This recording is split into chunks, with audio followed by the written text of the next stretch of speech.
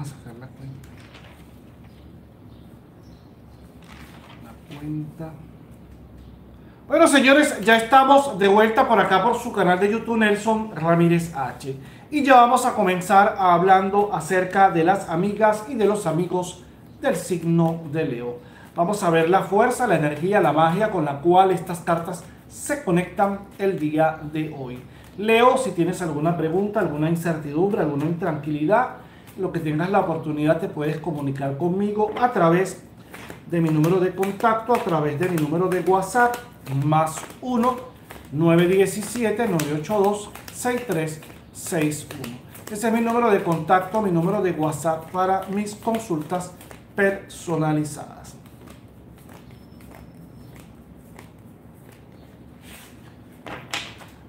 Vamos a ver, Leo, qué te dicen las cartas el día de hoy. La primera carta, la carta del caballo de oro. Prepárate porque vas a asistir a una reunión de trabajo. Prepárate porque vas... Primero, la carta del caballo de oro dice, prepárate porque vas a asistir a una reunión laboral. Segundo, prepárate porque vas a realizar un viaje. Aquí hablan las playas, los campos, los ríos. Prepárate porque vas a asistir a un viaje de, de disfrute, de placer este fin de semana, vas a compartir con alguien y vas a ir a un sitio a hacerte como una especie de limpieza, una canalización, algo a nivel espiritual, algo a nivel religioso. La carta del caballo de oro habla los negocios que están muy conectados con la exportación o la importación de productos. Aquí nace la exportación y la importación de productos. Aquí nace la compraventa. Aquí dice que usted va a comprar algunos productos para procesarlos y venderlos. Ahora, el caballo de oro también dice, tienes deseo, tienes ganas, tienes la voluntad de comprarte una moto, un carro, un transporte. Aquí habla que has pensado montar una empresa como que estuviese dedicada al transporte público, a la carga, algo por el estilo. La carta del caballo de oro con el 2 de basto vas a tener una reunión o una conversación con una hermana, con un hermano y lo vas a ayudar a resolver una situación económica. La carta del caballo de oro con el 2 de basto y el 5 de copa dice, llegará el momento en que tanto esfuerzo valdrá la pena, Leo. Llegará el momento en que las cosas te van a comenzar a mejorar. Apégate al plan, ten confianza que el tiempo de Dios es perfecto. Tu trabajo, tu esfuerzo, tu voluntad, tu persistencia, tus ganas de, triunfar, tu deseo de, de obtener éxito, prosperidad y evolución en cualquier momento va a llegar. Mientras la vida te lo permita, sigue disfrutando del momento que estás viviendo en este instante. La carta de las de espada. Saca la basura de tu mente Saca todo aquello que te impide ser feliz y seguir adelante. El as de espada también es una carta que dice, cuidado con alguna persona que intente amedrentarte con algún tipo de arma blanca. Cuidado si llegas a tener un percance, un problema con alguna vecina, con algún vecino, con alguien cercano donde tú vives y esta persona intenta amedrentarte o sacar un arma o intentar hacerte daño. Mucho cuidado con esto.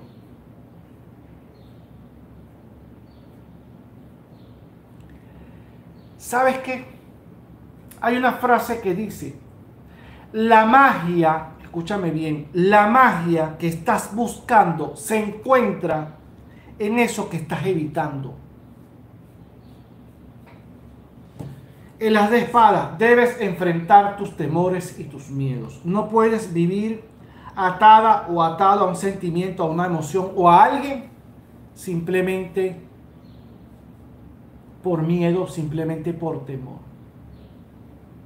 Tú no puedes, escúchame bien.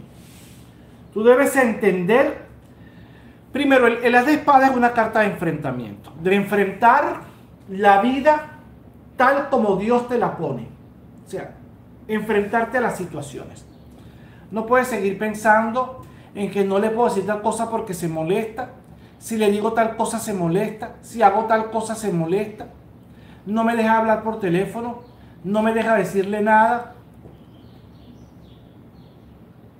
¿Me estás entendiendo? Escuchar falta de respeto, tú no sirves, tú nunca haces nada, tú nunca haces nada bien. Ten cuidado con esa situación. Viviste una situación, déjame decirte algo, eh, amiga y amigo del signo de Leo, viviste una situación con una persona, pero yo pienso que el problema en ese momento fuiste, fue usted. Esperaba que esa persona reaccionara como tú querías. Esperaba que esa, que esa persona dijera lo que tú esperabas. Y no le diste la oportunidad o no te diste la oportunidad de aclarar. Es como cuando yo sin pedir nada espero que esa persona me dé lo que yo no le he pedido. ¿Sí me explico? Es como cuando uno a veces tienes que decirle a la persona, mira, yo necesito que tú me ayudes en esto. Las personas no son adivinos. Las personas no son adivinos. Usted tiene que comunicarse. Mira, mamá, me parece que como tú me, de la manera en que tú me hablas, ya yo soy una persona adulta, tú me estás ofendiendo. Yo te amo, yo te quiero, pero yo siento que tú no tienes por qué tratarme de esa manera. Con mi pareja igual, con mis hijos igual. Porque el as de espada, hay algo que llevas por dentro que no le has comunicado a tu familia. Yo no sé si es que tú sientes que tus hijos te han dado la espalda, yo no sé si es que tú sientes que has tenido problemas o no te has podido comunicar de manera clara y precisa con tu mamá, con tu papá. O sea, es una conversación, tienes que aclarar, tienes que fluir con tus emociones y decir lo que sientes. La carta de la reina de basto la carta de la torre, cuidado si tienes a tu mamá con un estado de salud bastante deplorable. Vas a tener que mirar y observar hacia tu lado a ver si es tu mamá, si es una hermana. Alguien de tu familia está en este momento viviendo una situación difícil. Su estado de salud cada vez está más deplorable. Necesita higiene, necesita ayuda, necesita comer mejor, más sano, mejor alimentación, necesita comprarse sus medicamentos Aquí dice la reina de basto con la carta de la torre, que tú a veces sientes que toda la carga la llevas tú. Tú a veces sientes que tú eres la única persona que da, que tú eres el único o la única que da la cara. Porque cuando yo veo la reina de basto y la carta de la torre, todos los problemas van a ser donde estás tú. Tú tienes que resolverlo todo. Y tus hermanos o tus hermanas, bien, gracias. Mira que mi mamá está enferma, mira que mi... Ah, bueno, está bien, déjame decir yo, es que tengo mucho, ahorita no tengo dinero. O me avisas cualquier cosa. Entonces, como que toda la carga, toda la responsabilidad, todo lo estás manejando tú. Y esto hay que revisarlo. La carta de la torre también habla de fuertes dolores de cabeza, aquí nace la migraña, aquí nacen los dolores en el cuerpo y aquí nacen síntomas que están relacionados a la gripe, al flu. Así que a cuidarse la salud.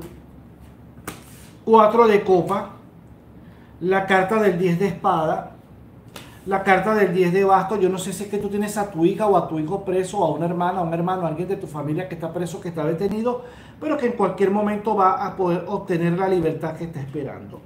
A veces te sientes como invisible hacia la persona que a ti te gusta. Hay una persona que te gusta, hay una persona que tú deseas, hay una persona con la cual tú quieres estar y tú te sientes que tú para esa persona eres invisible, ya no existes.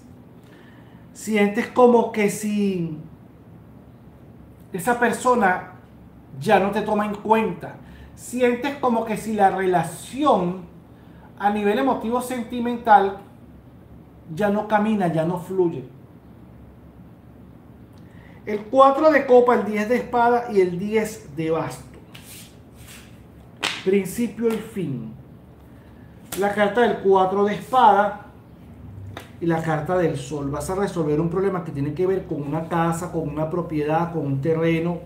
Vas a resolver algunos problemas. La carta del sol es una carta de cierre de ciclos, donde dice prepárate porque vienen cosas importantes para tu vida.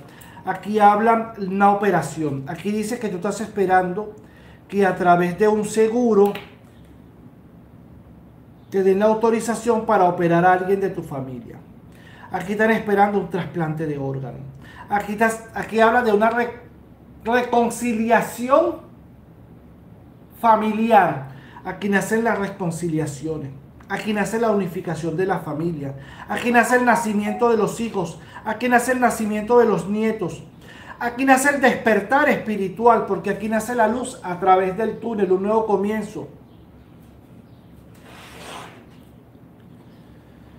La carta del caballo de espada, ten mucho cuidado que vayas a salir en algún vehículo y te vayas a quedar accidentada, te vayas a quedar accidentado. Ten mucho cuidado y de no, escúchame bien, si tienes la oportunidad de ir al mar, de ir a la playa, trata de no meterte a lo profundo. Observa el mar y si tú ves que está muy quieto, ten mucho cuidado porque puede tener corrientes internas que te pueden jalar. Hay que respetar el mar. Y esta carta dice, amiga y amigo del signo de Leo, que hay momentos en que tú sientes como el olor del mar. A ti la energía del mar como que te atrae. Tú a veces has tenido sueños en el mar.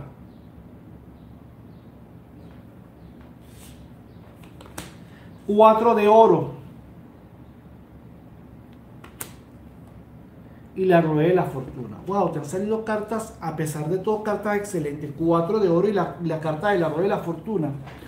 Aquí habla el diseño gráfico, aquí habla la arquitectura, aquí hablan los cambios de luz, aquí habla de pintarse el cabello, aquí habla de hacerse intervenciones quirúrgicas, ¿sabe? Mamografías, bypass gástrico, hacer ejercicios, comenzar dietas, hacerle un cambio a la vida. El 4 de oro con la carta de la rueda de la fortuna hablan las negociaciones y los proyectos. Hay un negocio y un proyecto que estás negociando y que se te va a dar. La venta de una propiedad, la venta de un terreno. Yo no sé si es que tú trabajas en bienes raíces o trabajas vendiendo autos o trabajas de vendedor, de vendedora y vas a tener un buen negocio, vas a hacer un buen negocio que te va a quedar un buen dinero. El 4 de oro con la rueda de la fortuna también hace la siembra. No sé si trabajas la siembra, la ganadería, pero te vas a tener una buena cosecha. Amiga y amigo del signo de Leo, tu número de la suerte para hoy, 34 21. 34 21, vámonos con